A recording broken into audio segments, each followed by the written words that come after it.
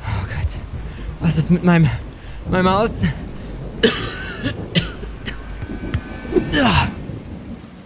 Was ist passiert? Mein, mein, mein Haus? Ich glaube, der Nachbar. Hat einfach. Oh Gott, ich kann. Ich kann von Glück sprechen, dass ich noch lebe. Er hat mein. hat mein Haus abgefackelt. Ich glaube, der eine Balken, der hier umgestürzt ist vom Fundament aus, hat mir einfach das Leben gerettet. Okay. Okay, durchatmen. Der Nachbar hat mein Haus. Okay, der Nachbar hat mein Haus dran gezündet. Kein Problem, ich, ich kann damit umgehen. Ist alles in Ordnung. Wie soll ich das der Versicherung erklären? Und vor allem die Polizei hat mir das letzte Mal schon nicht geglaubt. Das kriege ich nie wieder aufgebaut. Das kriege ich nicht mehr hin. Und daran ist nur dieser dreckige Nachbar schuld, der mir mein ganzes Leben zur Hölle macht und ich weiß einfach nicht, was ich tun soll. Ich zahle ihm das heim. Aber erstmal muss ich schauen, wie ich die Nacht überstehe, vor allem während das hier so regnet. Könnte ich vielleicht... Das ist eine ganz dumme kleine Idee. Was wäre, wenn ich... Ah, ich habe aber auch nichts Gespartes mehr, sonst hätte ich gesagt, ich kaufe mir eine Kamera oder so eine kleine Überwachungskamera und stelle die mir hier irgendwie auf und dann erwische ich meinen Nachbarn auf frischer Tat. Hm. Weil ich weiß genau, er plant irgendwas Diabolisches. Ich meine, hätte ich jetzt eine Kamera gehabt, ich hätte gefilmt, wie er mein Haus abgefackelt hat. Okay, denken wir mal nach. Was wäre, wenn ich... Ich weiß gar nicht, ob er eine Kamera hat, aber... Was wäre, wenn ich es schaffen würde, ins Haus einzubrechen, ihm eine Kamera klaue, die ganz vorsichtig hier platziere und filme, was er tut? Ich meine, das wäre doch genial. Ich meine, ich würde ihn auf frischer Tat ertappen. Ich brauche nur noch eine Kamera und muss schauen, oh, dass ich hier nicht weiter so nass werde. Okay. Ah, wenn ich eine Kamera wäre, wo würde ich sein? Ich meine, hatte der Nachbar nicht so ein komisches Labor? Naja, es kann gut sein, dass er jetzt alles Mögliche weggeräumt hat wegen dem Polizeibesuch das letzte Mal. Aber wenn wir vielleicht ganz vorsichtig... Ich hoffe einfach nicht, dass er mich jetzt entdeckt, wenn ich hier rangehe. Wir klingeln nicht, wir wissen, er überreagiert massiv schnell, wenn wir so ein bisschen hier rumlaufen. Ich will auch gar keinen Blick durch das Fenster wagen. Ich habe viel zu viel Angst, dass er dass er sich da noch irgendwo rumtreibt. Okay. Vielleicht kommen wir über den Hintereingang äh, hinten rein und muss ich überlegen, hatte er ah, oben in dieser komischen Zelle, war da eine Kamera? Ich weiß gar nicht, wie ich da hochkomme. Ich meine, da steht alles voll mit Gerümpel. Ich weiß gar nicht, wie er sich in dem Haus da so bewegt. Okay, wir gehen ganz vorsichtig am besten langsam hinten rein und versuchen uns, dass wir uns am Bett vorbeischleichen. Und dann müssen wir unser Bestes probieren. Ich meine, wenn wir Glück haben, aber nur wenn wir ganz viel Glück haben, finden wir eine Kamera und stellen sie auf und ertappen ihn auf frischer Tat. Durchatmen, Logo. Du traust dich jetzt, diese Tür zu öffnen. Bereit? Drei, zwei, eins. Reiß dich zusammen. Ganz vorsichtig. Alles wird gut. Ich weiß gar nicht, das letzte Mal stand er da, da hat er mich erwischt und ich glaube, einmal war er auch. Als ich ihm die Schlüssel geklaut habe, war er da.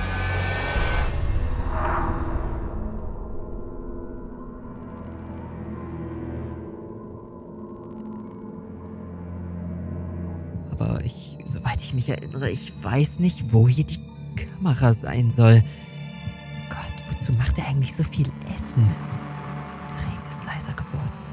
Besten wäre es, wenn wir langsam Stück für Stück das Haus absuchen. Ich weiß auch nicht, wo er sich gerade rumtreibt. Ich meine, er könnte in jeder Ecke hier stehen.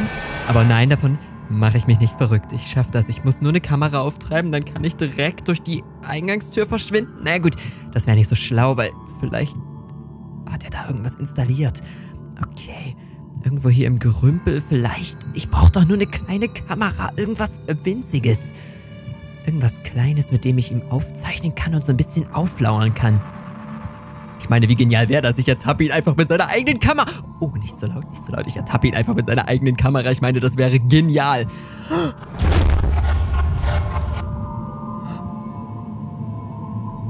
Oh Gott, und hier ist die Tür, aber...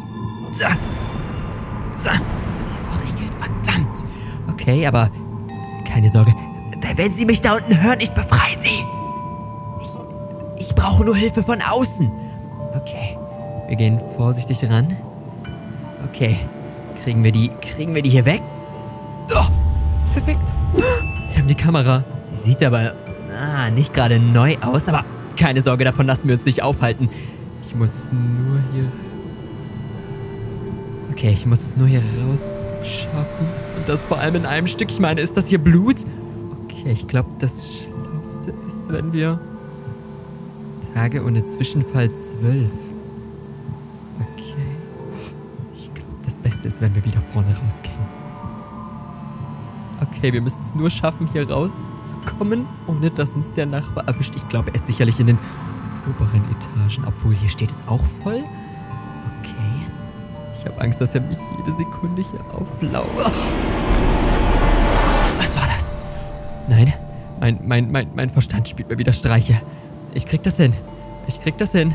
Okay, vorsichtig wieder raus. Ich schaff das. Ich schaff das. Er wird mich nicht kriegen und dann erwische ich ihn auf frischer Tat. Alles wird gut. Alles wird gut. Okay, wir haben die Kamera. Hallo? Okay, alles noch gut? Er wird mich niemals kriegen, okay. Wir haben es geschafft. Wir haben es geschafft. Okay, wir sind runter vom Grundstück. Durchatmen. Okay, wie, wie, wie schaffe ich es hier? Am dümmsten eine Kamera aufzustellen, wo er sie nicht findet. Ich glaube, das Beste wäre, wenn ich sie hier zwischen... Ah, zack. Okay, wenn er mich jetzt damit erwischt, dass ich ihm quasi die Kamera geklaut habe und die Kamera nun benutze, um ihn auf frischer Tat zu ertappen. Oh Gott, der wird mich köpfen und er wird mich wieder irgendwo dort oben einsperren. Apropos da oben, warum habe ich dem Polizei... Nein, warum habe ich dem Beamten nicht einfach das Loch da oben gezeigt? Ich meine... Oh, verdammt. Ich war aber auch... Ich war so aufgeregt. Ich... Egal. Das passiert. Ich kann es nicht ändern. Jetzt ist das Wichtigste, dass ich es irgendwie noch schaffe, die Kamera so ein bisschen zu tarnen. Ah, meine Umzugskartons hier sind nicht abgebrannt. Wenn ich vielleicht ein, zwei von denen nehme und die vorsichtig vorne aufstelle, vielleicht entdeckt er sie nicht direkt. Ah, okay. Zack. Zack. Hm, ja, das sieht gut aus. Ich stelle noch eine hier oben auf. Und wie wäre es, wenn wir... Zack. Zack. Oh ja, ich glaube so. Oh ja, so wird er es nicht sofort entdecken. Also, hoffe ich. Okay, jetzt ist es eigentlich nur noch abwarten. Das Problem ist, wo soll ich die Nacht verbringen? Ich meine, oh, es regnet schon die ganze Zeit und in meiner Hausruine kann ich nicht mehr viel anfangen. Oh Mann.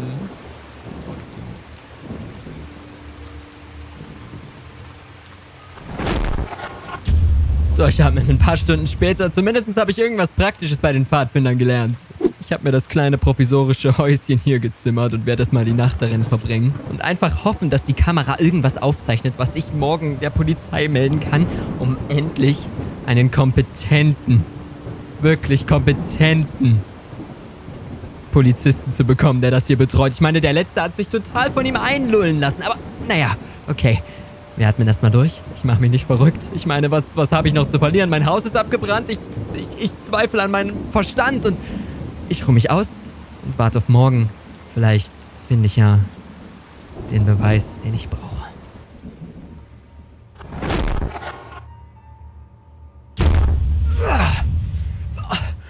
Oh, mein Kopf. Oh, ich habe so verdammt...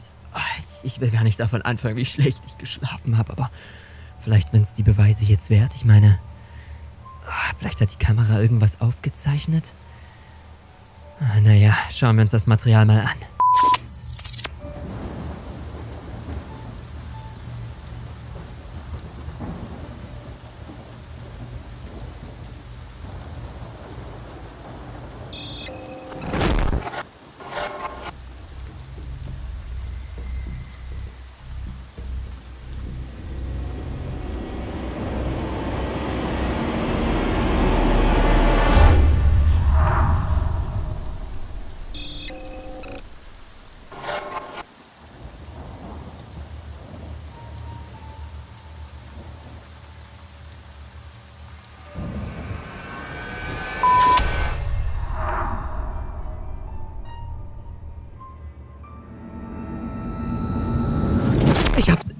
Ich, krieg ihn ran. Ich, ich muss nur den Film nehmen und ihn. Oh mein Gott, wenn ich den der Polizei vorlege. Oh mein Gott, er wird. Er wird.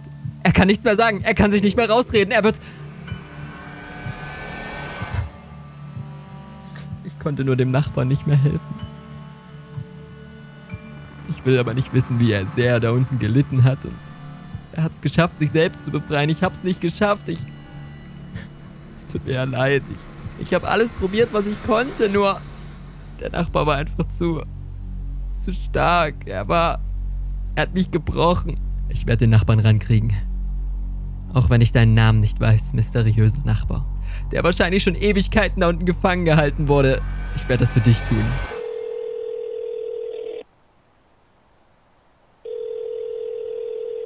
Hallo?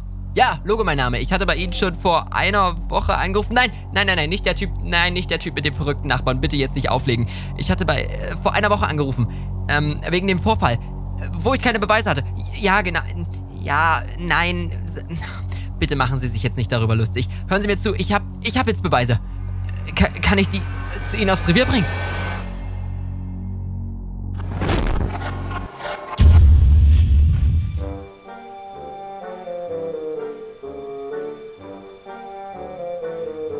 Wunderschönen guten Morgen. Ich habe hier von der Zentrale einen Bericht vorliegen, der mir so ein bisschen schildert, was hier vorgefallen ist. Sie werden jetzt abgeführt. Alles, was Sie sagen, kann und wird vor Gericht gegen Sie verwendet werden. Sie haben das Recht zu schweigen. Ich hatte recht, ich habe mir das nicht eingebildet. Ich bin nicht krank. Yes, yes, yes.